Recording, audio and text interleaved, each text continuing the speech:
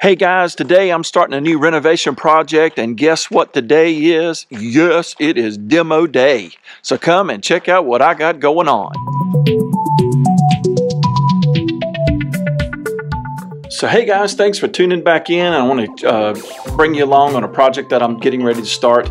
So uh, a couple years ago, I redid uh, everything on this uh, side of my basement. We, everybody calls this the dungeon or they call it my man cave, whatever. Uh, but uh, I only got half of it done and this has kind of been over here sitting in a holding pattern. Today, we are going to start this project on this side. So the first thing I'm going to be doing is I'm going to take all of this grid system down. Uh, I'm going to be changing it over to black. I'm going to be getting rid of, I hate these fluorescents, and I'll show you why. Uh, you run into the ballast going bad, the lights don't light good, and it's just always a pain in the butt. I hate dealing with these things. This is old school. Also, we're going to be doing painting. Uh, I've got some things up in the roof trusses to fix during this project. I'll bring you along for all that as well. So guys, let's get busy.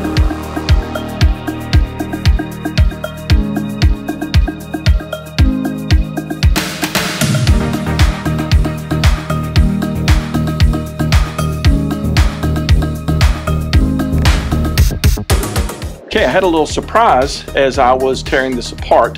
Um, you can see all of this black. At first I thought it was from a mouse or something that had gotten up there. I don't know if you can see all of this on the floor.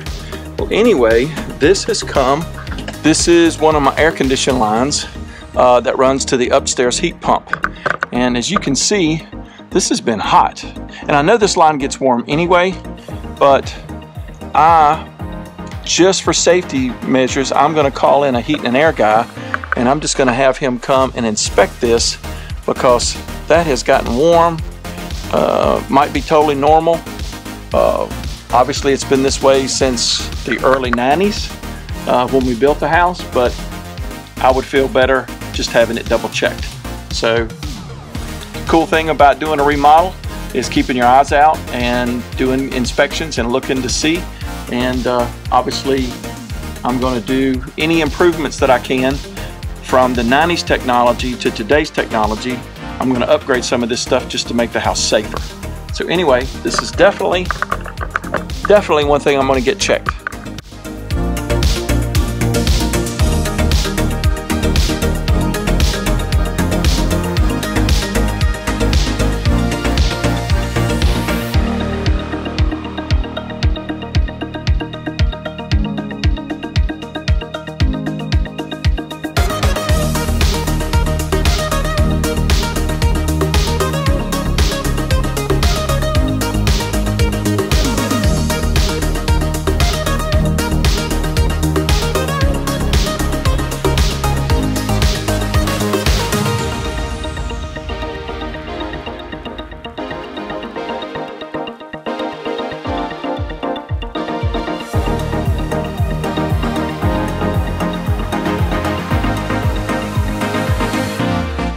So guys, one of the things I wanted to show you is this cool little tech tip and it took me a couple uh, evolutions to get to this and I can't get over it's worked as great as it has. Um, so at my house, I've got quite a few areas that had squeaky floors and I wanted to resolve that. And obviously while I've got all the grid down and I can get access up between uh, my floor my floor joist and up underneath the sub plywood subfloor, I wanted to go ahead and see if I could get this resolved. So what I found out was work, and, and obviously let me show you this too.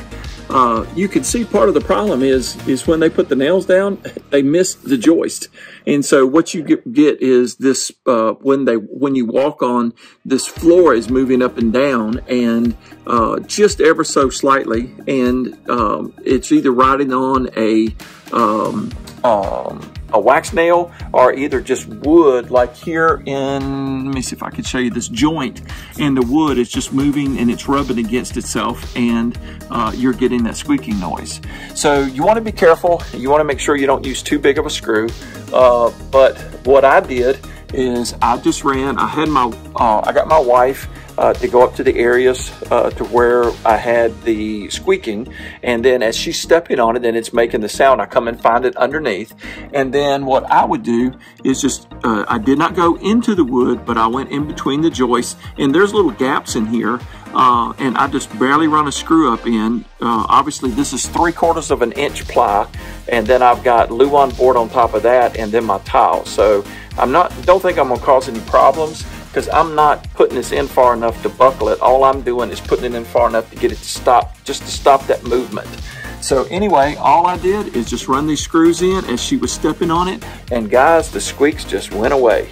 And I had about five or six areas that were doing it. And this worked beautifully to stop every one. So just wanted to share this little tip hope you guys will try it and hopefully you'll have the success I did. Anyway, just wanted to share. Guys, remember this will be a build series, so there will be quite a few videos in this series that I'm working on now. So please be sure and keep an eyeball out for it. Uh, also, I'm going to include up here in the end screens, be, uh, be sure to check out uh, the work that I did right before this, where I was working with rough cut and working on a real tricky section of trying to make my uh, tiles come together and working around a heat duct vent. It really turned out great. It's what I call rustic contemporary. Be sure and check that out. Guys, thanks so much for tuning in. I hope you're enjoying the videos. Please be sure and hit that thumbs up and subscribe and like. And uh, guys, I'll be seeing you soon because remember here at Project Next, there is always one more. So thanks for watching and we'll catch you later.